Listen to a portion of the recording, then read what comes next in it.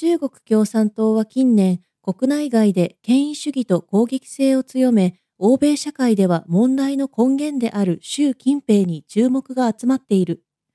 ウォール・ストリート・ジャーナル紙は昨年末、冷戦後のアメリカ最大の戦略的誤算は習近平のご判断であると書いた。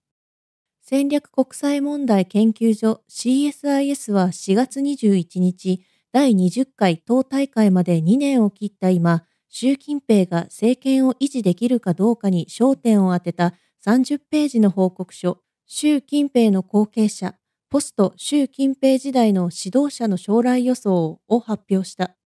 報告書では2022年以降の習近平の身体の様々な可能性を分析しており、権力を引き渡す、留任する、性的の挑戦やクーデターに遭う、休止する、行動能力の喪失などが含まれる。予測1、習近平2022年に政権交代する。習近平は2022年秋の第20回党大会で現職の政治局常務委員の誰かに権力を譲ることになるが、3つの最高職のうち、中共総書記と軍事委員会主席の2つが引き渡される可能性が高い。これは実質的な権力異常だと思わせるためであり、その理由は次の通りだ。まず、習近平は2期の任期中に権力を集中させることで中共の指導力を強化し、多くの改革が完了した今、安心して権力を放棄できると考えているのかもしれない。第2に、習近平が退任しなければならないもっと直接的な理由がある。それは身の安全だ。制度化された後継者のルールは、権力内の人々の期待を確実にし、クーデターの可能性を防ぎ、最終的には指導者がクーデターに直面するリスクを軽減する。予測2、2022年に政権交代せずに留任する。予測3、習近平は朝鮮かクーデターかに遭遇する。習近平を打倒する陰謀は空想ではない。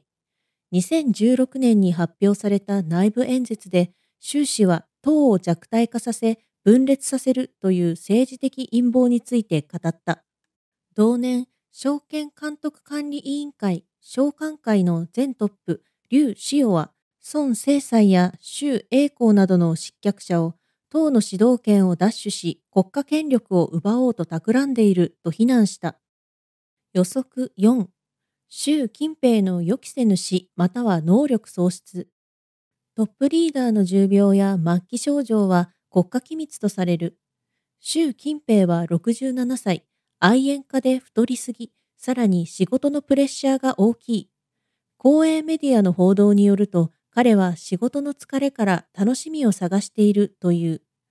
同報告書では、習近平の突然かつ不慮の死も想定している。一旦習近平が死亡すれば、少なくとも文字通りその手順はかなりはっきりしている。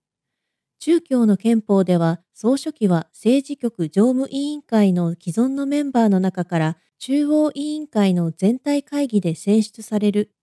憲法では、党の中央軍事委員会のメンバーは中央委員会が決定し、国家主席と副主席は全国人民代表大会で選出される。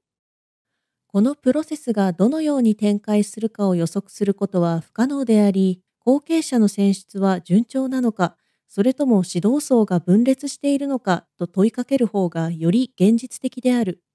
これらの兆候は次の通りである。1、総理または副主席が定例会議を欠席した場合。2、全国ネットのテレビ、ラジオ、主要な全国紙や都市新聞の放送時間や発行スケジュールの変更。3、インターネットの突然の中断とソーシャルメディアが混乱し、WeChat の普及により技術的な問題に直面するのか、あるいは権力闘争が勃発した場合に反対派の重要なチャンネルとなる可能性がある。4. 中国の主要な空港のフライトや鉄道の駅の時刻表に不可解な中断が生じる。5. 中央政府機関、公式メディアまたはインターネット上に掲載された競合または矛盾する声明を削除せずに掲載すること。もう一つは、習近平が健康上の問題、脳卒中、心臓病などで動けなくなるという重要なシナリオも考慮しなければならない。指導者の死とは異なり、仕事の能力の喪失によって中共の体制は時期の定まらない政治的不確実性に追い込まれ、習近平の支持者と反対者が習近平の回復と死亡のバランスを同時に保とうとする。